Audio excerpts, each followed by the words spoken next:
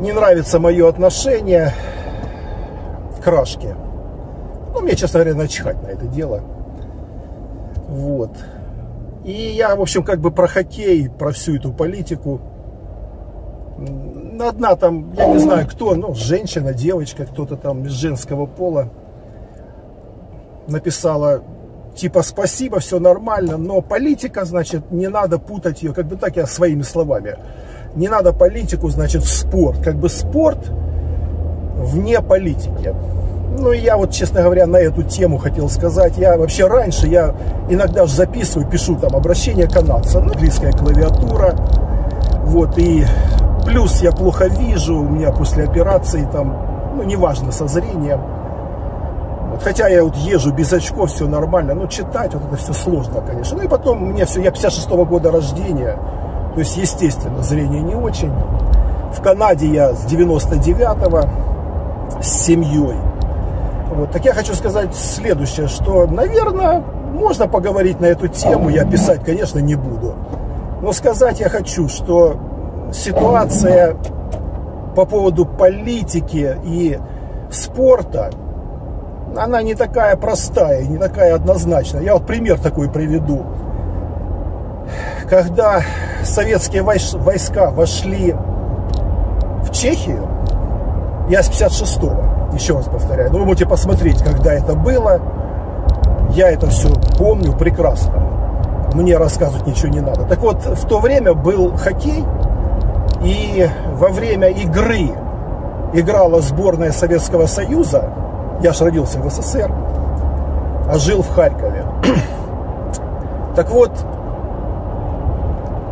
на трибунах, когда игра проходила, играл СССР и Чехия, плакаты были. Там было написано, здесь и танки не пройдут. Политика, спорт. Вот я конкретно по факту. Я вообще люблю говорить конкретно, по факту. Я не люблю так ля-ля, тополя. Я говорю то, что я знаю, что я видел, я это видел своими глазами, ну, по телевизору. Здесь и танки не пройдут. Это отношение было к совку. Я их называл совок, совдепия, и я их всю жизнь ненавидел. Всю жизнь. Как и русских. Я всю жизнь ненавидел и презирал.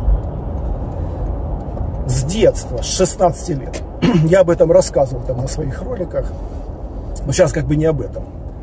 Так вот, политика, спорт. Ну вот, пожалуйста, не все так просто, не все так однозначно. Олимпиада. Знаменитая Олимпиада, 80-й год, СССР, Москва. Ну, наверное, многие помнят, не так давно это было. И э, бойкот же был. И многие страны, очень многие страны западного, свободного, цивилизованного мира, они не приехали в Москву. Бойкот был. Олимпиада. Политика. А потом, значит, через 4 года был, была Олимпиада, если я не ошибаюсь, если я ошибаюсь, то я извиняюсь, по-моему, в Лос-Анджелесе, Штатах. И опять бойкот, и вся эта совдепия, весь этот совок недобитый. Мы не поедем, и подбили своих. И те не поехали. Ну вот, пожалуйста. Ну и сейчас, вот я записал этот ролик, я как бы к этому, ко вчерашнему ролику, про хоккей. Ну, я там не очень много говорил, ну, так чуть-чуть, чуть-чуть, я вскользь, конечно, было понятно мое настроение. Вот, так, что я хочу сказать. На этом чемпионате молодежка вот сейчас, там же рашки-то нету. Им запретили играть этим не хочу говорить кого, вы поняли. Вот. И вместо них играет Австрия. Честно говоря, очень слабая команда. Ну, не в этом дело. Дело в том, по факту, опять же, политика, санкции там и все это дело запретили, дисквалифицировали. Политика, она перемешивается со спортом. Никуда от этого не денешься. Я вообще с этим согласен. Я вообще считаю, что э, те люди, которые говорят, мы вне политики, вот нас политика как бы не интересует, я там не интересуюсь, ну и прочее. Я этому человеку хочу сказать следующее, прямо в лицо. Ты или дебил, вообще, ну, дурак, Или ты просто без мозгов, это, собственно говоря, тоже то же самое, все равно дебил. Ну как это ты не интересуешься? А когда к тебе завтра придут и будут резать твою семью, ты что будешь говорить? Да я же там не знал, да меня же там как бы это не интересовало. Ну ты же на выборы не ходил, голосовал за уродов. Ну вот и получил. Ну как это так? Я не интересуюсь. Ну однозначно. Ну ты или при... Ну ладно. Позвонили мне, говорят уже срочно давай. Подъезжай, где-то пропал. Так что я буду заканчивать. В принципе, то, что я хотел сказать, я сказал.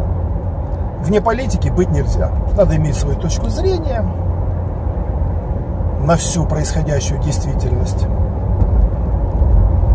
И обязательно бороться с фашистами, с гадами, с паразитами, с темными силами, ну чем можешь.